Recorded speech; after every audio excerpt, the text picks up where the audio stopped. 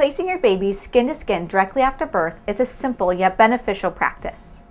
It's usually done immediately after birth and as much as possible during the first few days of your newborn's life. However, there is no age that skin to skin is no longer recommended. It will help regulate your baby's heart rate, breathing, blood sugar, and temperature. It also helps you and your baby's brain to release a hormone called oxytocin. This hormone release will make you feel more bonded to your baby, help milk to be released from your breasts, and aid in the healing process after birth. During skin to skin contact, your baby will be placed on your bare chest wearing only a diaper.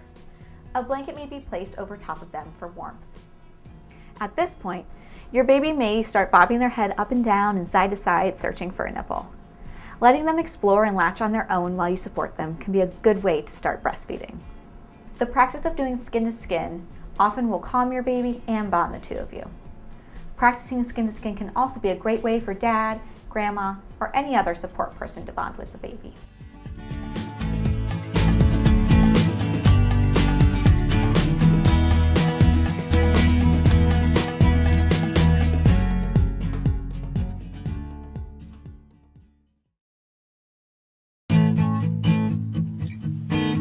When it comes to holding your baby for breastfeeding, there are many positions to ensure that both you and your baby are comfortable. The following will also be sure that your baby is latching properly. Laid back breastfeeding is when you place your baby on your chest, belly to belly. The baby may bob their head up and down or move it back and forth, looking for the breast. Gently lead them to the breast while letting the baby rely mostly on instincts. This can take several minutes to happen. Leaning back helps you rest while gravity holds your baby close. Football hold. This position is for holding your baby next to you. Support the back of your baby's neck and bottom so the baby's body is in a straight line. They should face your breasts and have their belly close. Be sure to never lean over the baby, always bringing baby to you by sitting up straight or slightly reclined. This position is great for a mom who delivers by C-section. Cross cradle. In this position, you're going to be bringing your baby across your body, facing you and belly to belly. Be sure to hold the back of their neck and bottom so their body is in a straight line. Let gravity help you hold the baby close by slightly reclining. Cradle hold.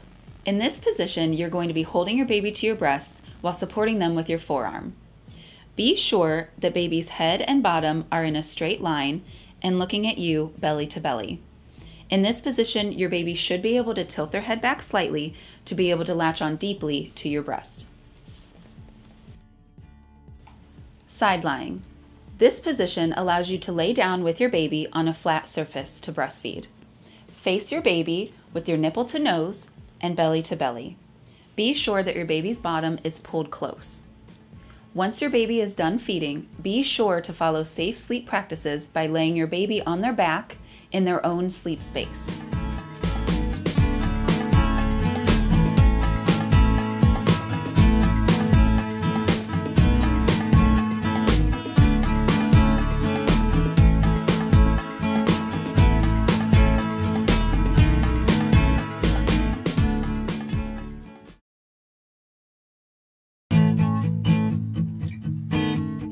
Latch is one of the most important parts of breastfeeding.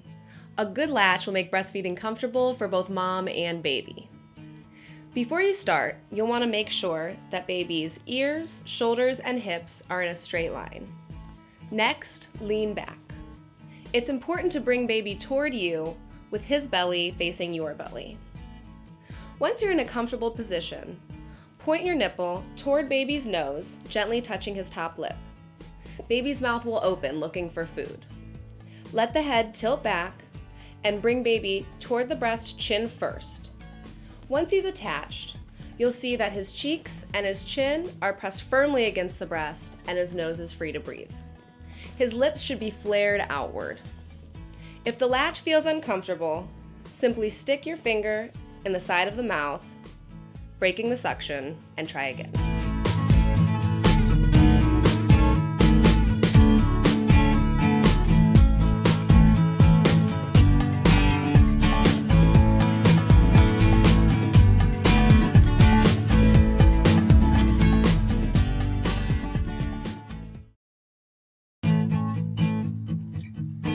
Many mothers ask questions about how much to feed their baby after birth.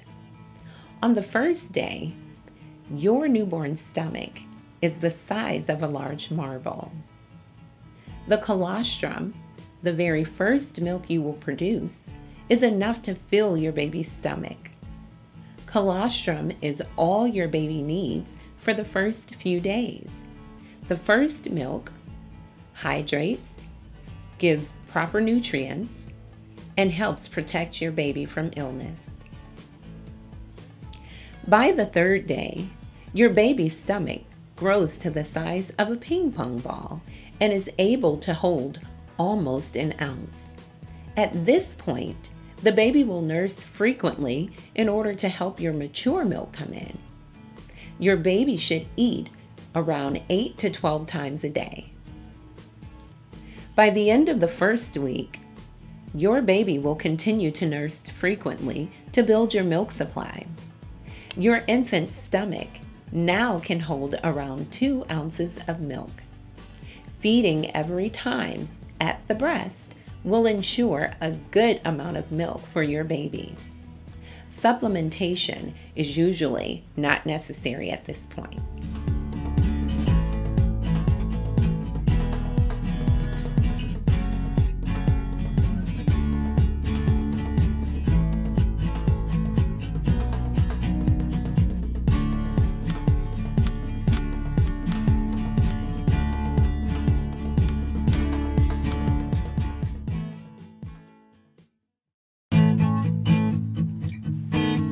When your baby is hungry, they will show you cues before they start to cry.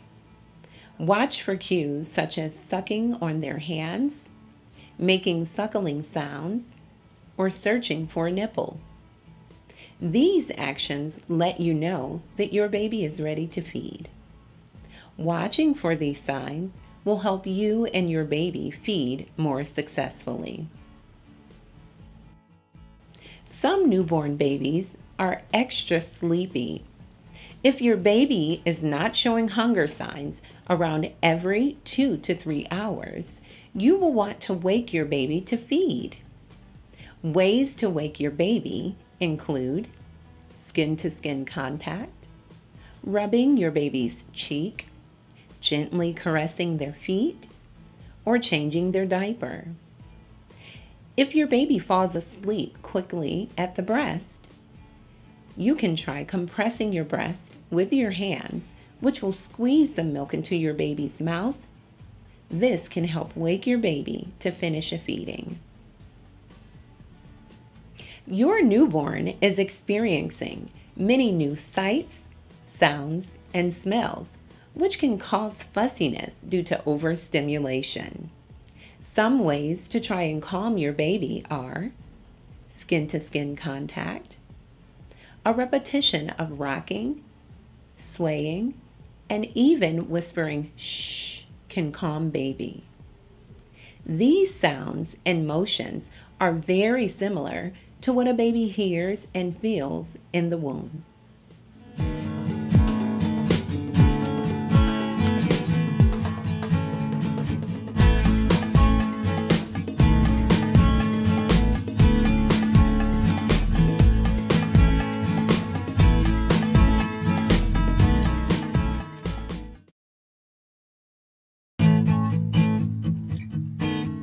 Babies eat a lot, usually about 12 times per day. Some moms notice this and worry that their breasts aren't producing enough milk. Thankfully, there are many ways to tell that the baby is getting enough to eat. Tracking weight is a great tool. Newborns tend to lose weight at first, but should be back to their birth weight by about two weeks old.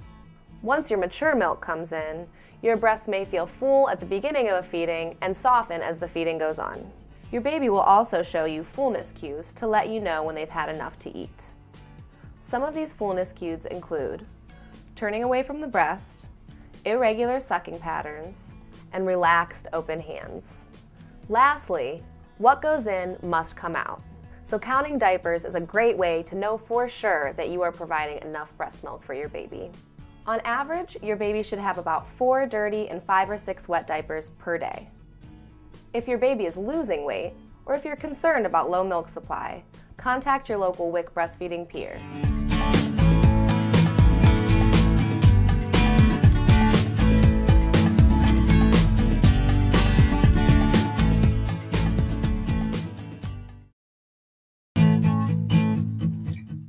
Babies' diapers are more than just a stinky chore. As I mentioned before, they contain a lot of information about whether or not your baby is getting enough to eat. Here's what's normal for an exclusively breastfed baby. All babies' first poop is going to be black and sticky. This tar-like substance is called meconium. On days one and two, your baby should have one to two stools and one wet diaper per day. By day three or four, your baby's poop should turn green, and they should have about three poopy and three to four wet diapers per day. By day five, breastfed baby's poop turns mustard yellow and can have many different textures. Often it looks watery or seedy. Your baby should be having three or four stools and five to six wet diapers per day. After four to six weeks, your baby may have fewer bowel movements, sometimes even skipping a few days. This can be normal for exclusively breastfed babies.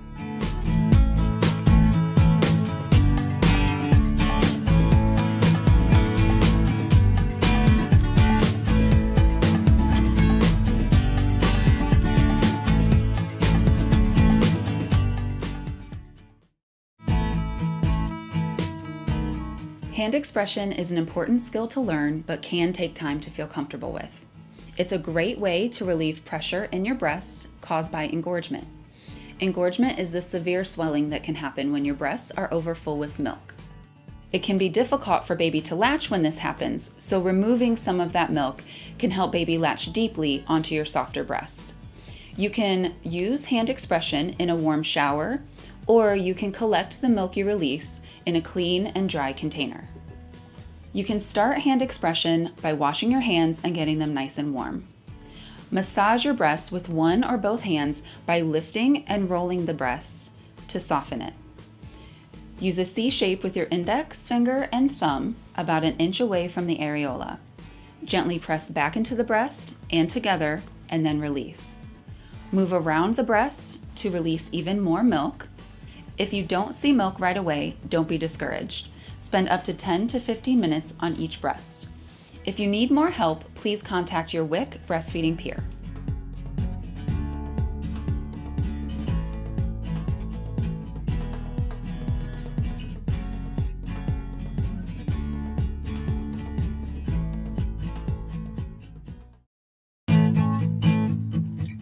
Paced feedings are important for all babies that take a bottle.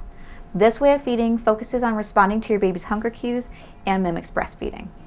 It also helps avoid problems with latching at the breast.